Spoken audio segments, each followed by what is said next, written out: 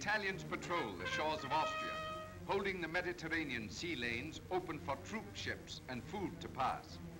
Destroyers conceal troop ships behind smoke screens. Hazardous work, for there are many enemy submarines beneath these blue waters. Along the Austrian coast, the Italians engage shore batteries, sea raid. Meanwhile, the French steam out of Algiers to join a British squadron. The orders are secret. Only the commanders know their target is the Dardanelles.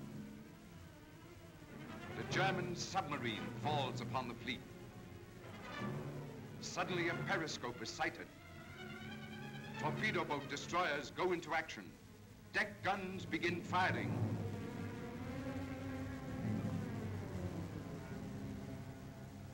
Depth charges are dropped. And the enemy disappears. The Hellespont lies at the end of the cruise, where Leander knew the currents and many other warriors. With battle flags at topmast, the British and French begin to shell the Turkish defenses.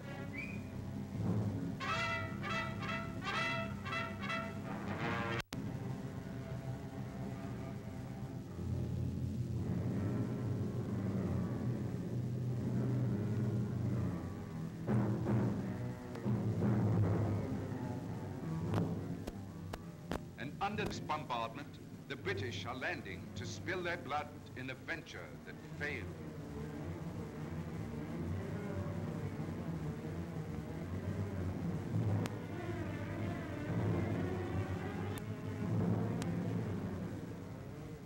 Back in the North Sea, steaming out of Heligoland Bight, Admiral Von Scheer, the fleet's commander, hopes to fall upon a British squadron, destroy it, and slip back into his base.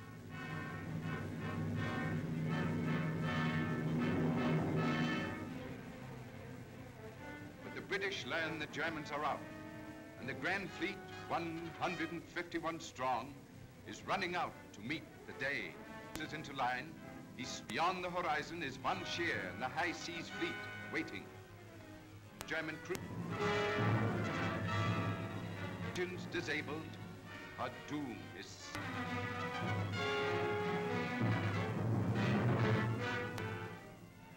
And destroyers dash in at full speed to launch. Those are fired at the enemy's line.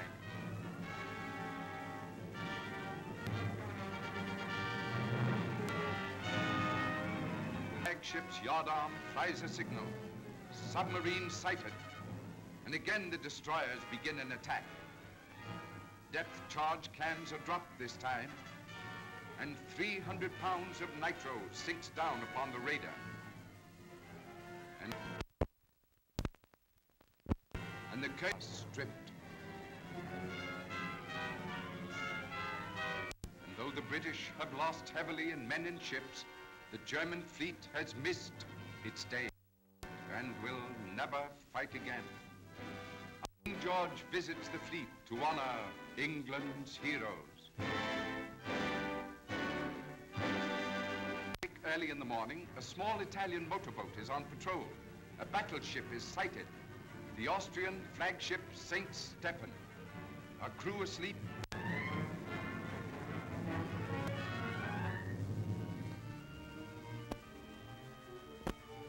Dazed by the two explosions, men pace the decks.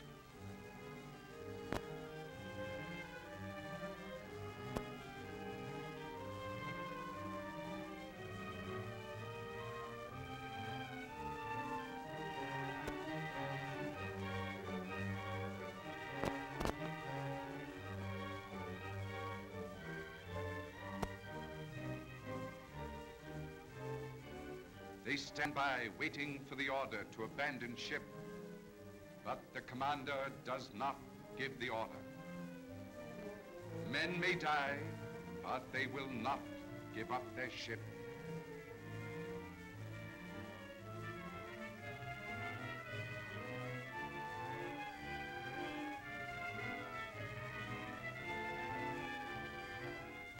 Decks awash.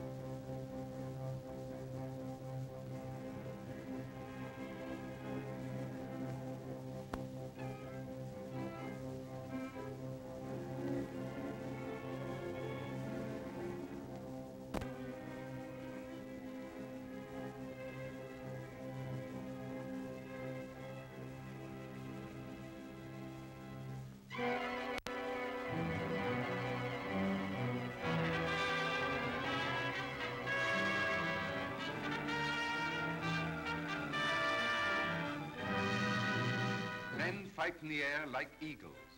Many come to earth in flames. There is a fascination. Here is King Albert of the Belgians and his queen held by this fascination. They meet Nungesser, surviving 43 air victories to fall in a transatlantic flight. He takes King Albert over the lines.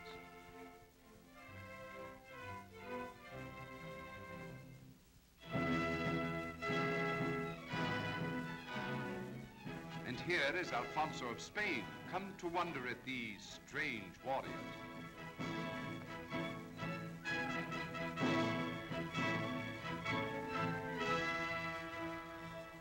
Baron von Richthofen, center, is the Red Knight of Germany. He has shot down 81 planes and will himself die soon beneath the blue smoke of British guns. Richthofen's flying circus becomes the byword of the Germans. He cruised high in the clouds, diving on his victims with flaming guns. Captain Guynemer is 22 years old. To the French, he is an idol. A dead shot, 53 German planes fell beneath his fire. And he will follow them soon into death. Quentin Roosevelt lost his first battle, and here he fell, shot down in flames.